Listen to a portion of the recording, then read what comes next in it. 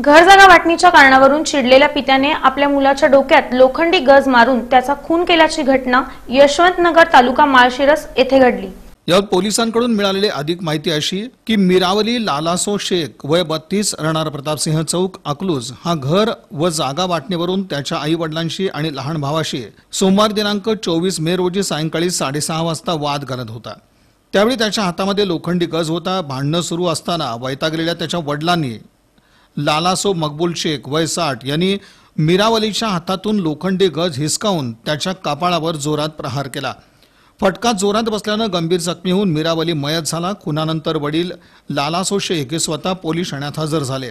यावत मिरावलीचा लहान भाऊ हुसेन लालासो शेख वय अठ्ठावीस या अकलूज पोलिसात तक्रार दाखल केली. घटनास्थळी उपविभागीय पोलीस अधिकारी नीरज राजगुरू पोलीस निरीक्षक अरुण सुगावकर यांनी भेट दिली.